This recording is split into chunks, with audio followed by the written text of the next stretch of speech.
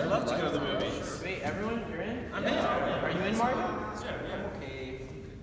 You don't want to go? I don't go to the movies. Oh, that's kind of peculiar. All right, well, that's fine. Yeah, okay. All right, everyone else is good. Y'all take care. All right. Now.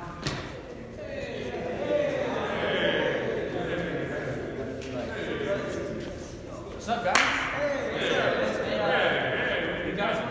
Go sin? Oh, yes. Down? All right, so, down. all right, hey, you bailed on the movies last time. You in on this one? I'm not so sure about that. Not so sure? So you're gonna okay? Well, that's kind of it's kind of peculiar, man. All right, hey, let's go, let's go, guys. Let's go sin. You don't want to sin, man? Come on, dude.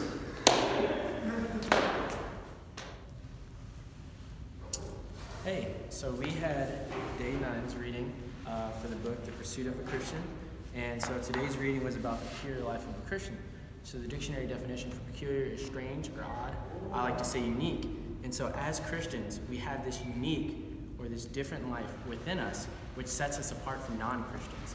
And so as we've seen earlier, we touched on it a bit with the skit with Mario, and now the rest of the brothers will kind of expand upon it. Oh, hi, I didn't see you there. Uh, today I'd like to share my enjoyment from day nine of Pursuit of Christian. And now, one thing I really enjoyed from this section was that the, it compares worldly people as being in a tide, and that there's a tide associated with the worldly people. They're, they're all kind of just following, they're not, they're just going with the current. But as Christian, we're peculiar because we don't go along with that tide. And I just really enjoyed how this comparison that we can see we're peculiar because we are not going with that tide. And I'm- sure you can see with the skit we did.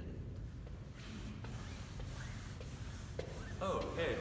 Almost didn't see there. The portion I really enjoyed from today's reading was that uh, it's the life within us that determines the, uh, the nature of, uh, you know, like how we, how we choose to live our life and our behavior.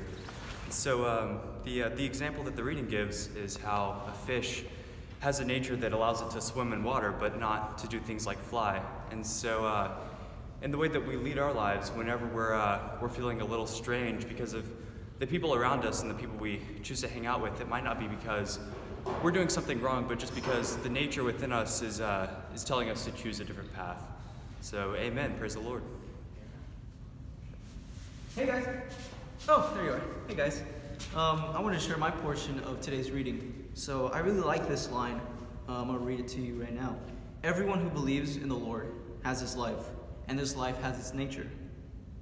Its innate ability, which causes him to be different from the unbelievers. So, when we take the Lord as our life, his life is dispensed into us. And so, when we're faced into situations in which other people you know, go a direction that seems worldly, well, we have the Lord in us that directs us differently, that goes against the time. Hey guys, so I enjoyed that this life, this peculiar life that we have, that is the life of God, is a little different from how we used to be.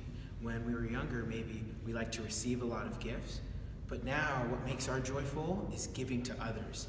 That may seem very peculiar to the unbelievers that we like to give, but that's just because of the life within. It makes our joy so much fuller.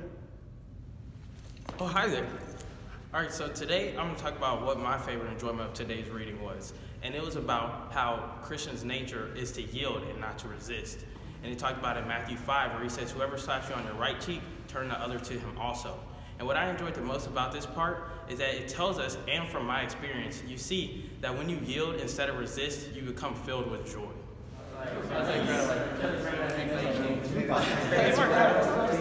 Yeah, what's up, bro? Like, bro, why don't you ever want to do like bad things with us? Like, why are you so peculiar? I don't know. I, I guess it's because I'm a Christian. So, like, what does that mean? Bro, let me tell you something about the Lord.